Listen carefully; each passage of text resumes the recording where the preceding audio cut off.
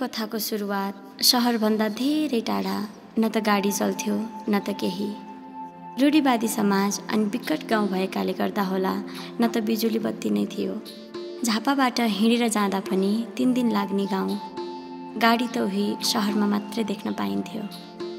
भारी बोकेर हिँड्न पर्ने मेरो गाउँ। सुन्दा विकट भए तापनि मेरो गाउँमा स्वर्गीय आनन्द भने छुट्टै छ। नेपालको पूर्वी भेग ताप्लेजुङमा एउटा अशिक्षित र गरिब परिवारमा जन्मिएकी म। यो हो मेरो प्यारो गाउँ ताप्लेजुङको मेरो बाल्यकाल मैले बिताएको ठाउँ। मेरो परिवारमा म काहिली छोरी। मेरो दुई दिदी र दाजु र मभन्दा मुनि दुई बहिनी र एक भाइ छन्। हामी लहरै एक दुई वर्षले सानो होला उमेरमा।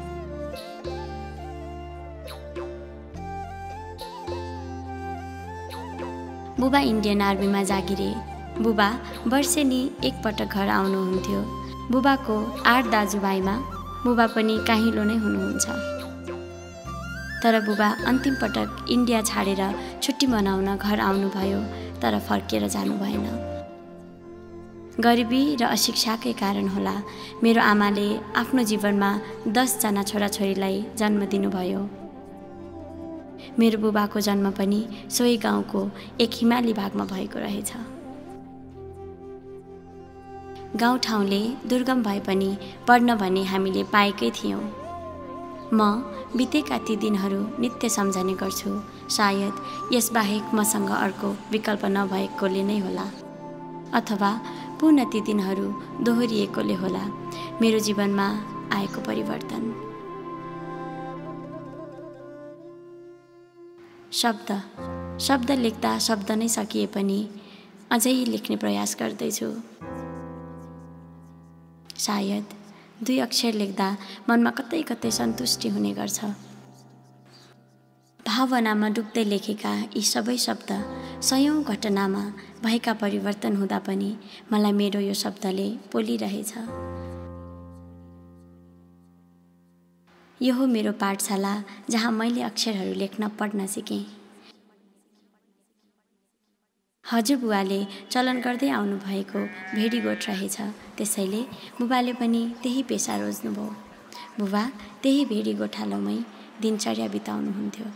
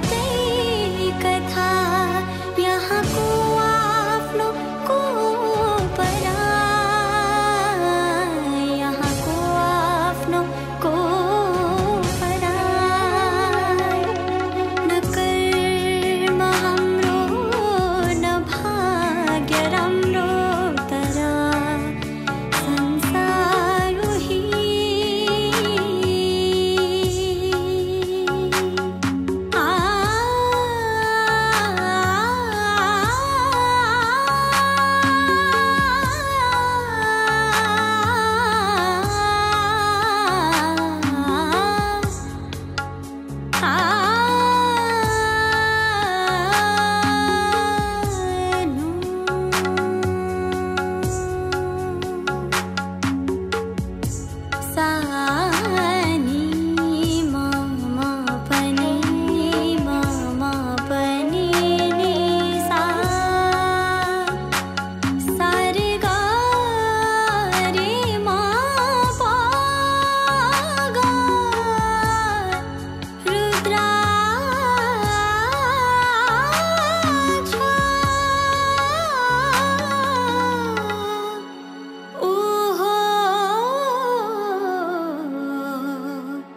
Rudra.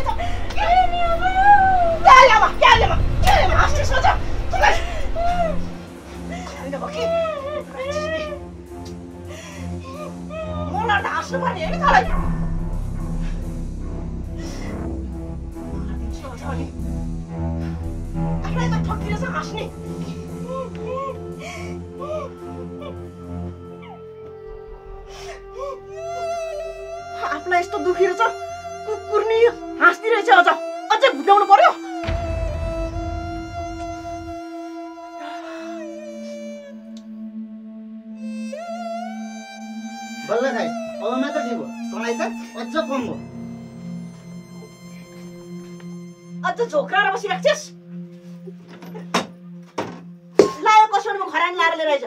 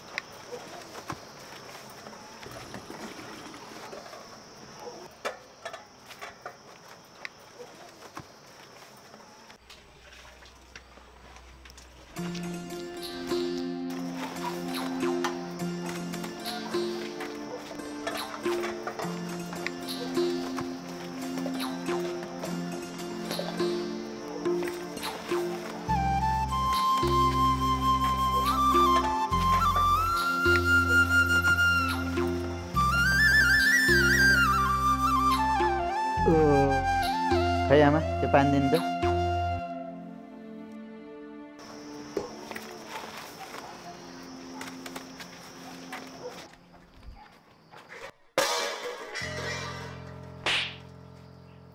त नर्के राम्रोसँग हेरेर हिँड्न सक्दिनस्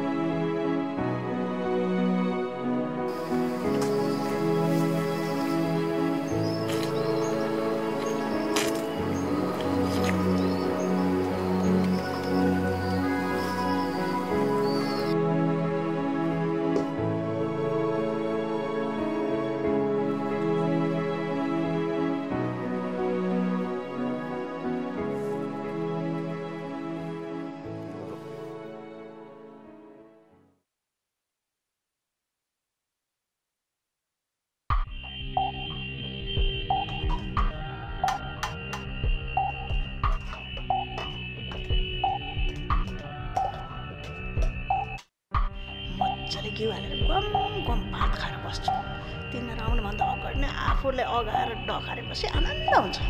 तिनीहरूलाई त त्यही कोदा आँखाले खान्छन् बस्छन् नि।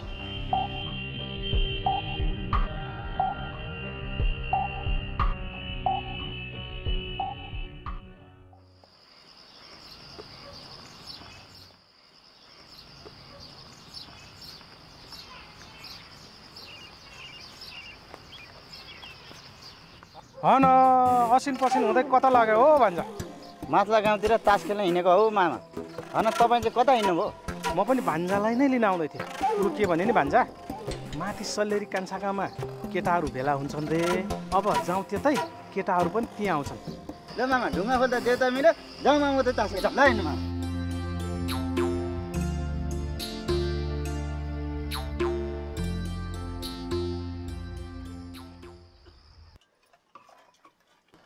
हामी एउटै आमाबाट जन्मेको सन्तान। दाजुलाई चाहिँ चामलको भात हामीलाई चाहिँ किन कोदाको खोले आमा?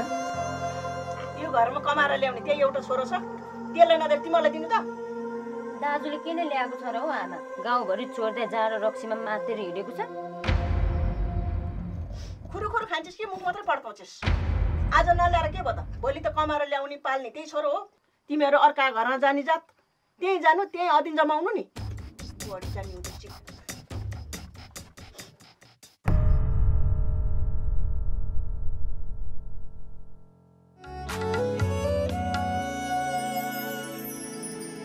बढी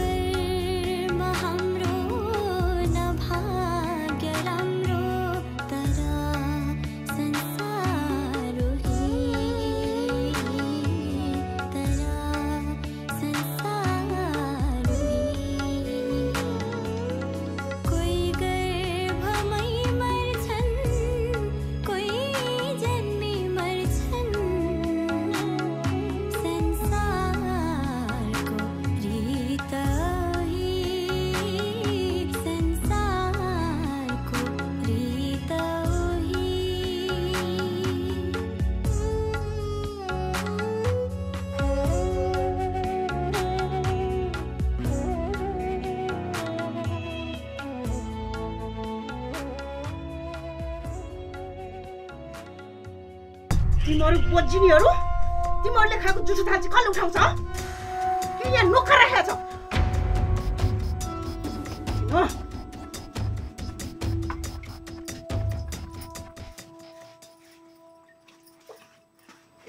पनि लगेर मर्दैनन्।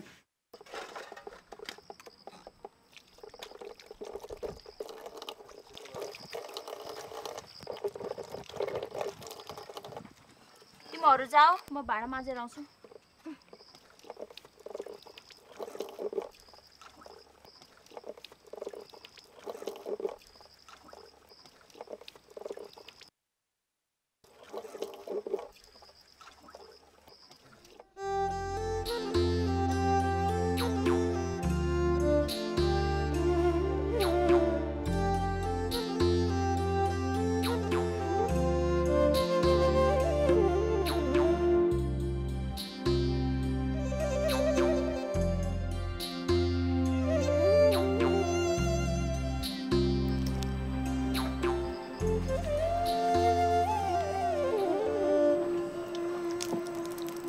कान्छी?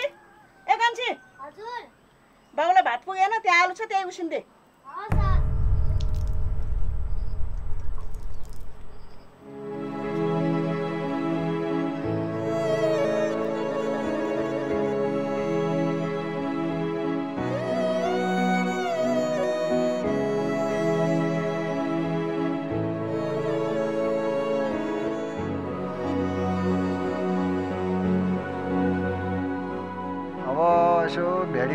जानु पर्यो तिज पनि आउन लाग्यो। दिदीलाई पनि यसो भेटेर आउनु पर्यो भात त सकियो।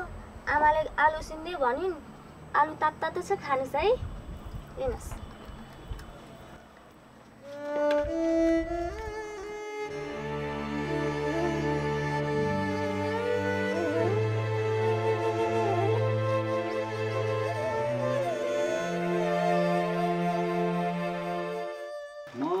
योपालि भेडीगोठ गएर आउँछु बुढी।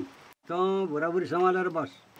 के किन खानिदिन्छु भनेर लिएर आएको थियौ? घर कोदा खोले बाहेक केही छैन। जहाँ जानुपर्ने हो जाऊ। हेर बुढी दुखेसो नपो आए आर्जन जे जति छ त्यही खाम्ला। मुख फुलाएर नहोस्। अरू म बाउको भेडीगोठ जान्छु। नुन तेल मरमसला के छ हालिदिए हिँड्ने तर्खर गर्छु।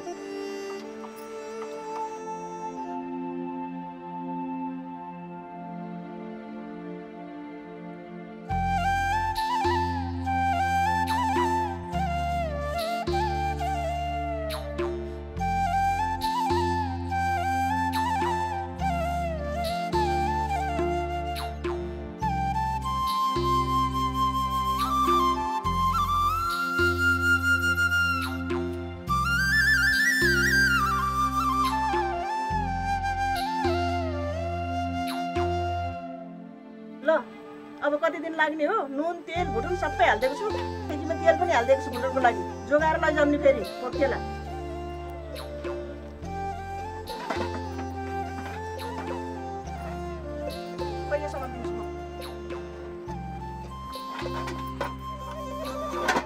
यो जोगाएर लानु नि फेरि पोखेला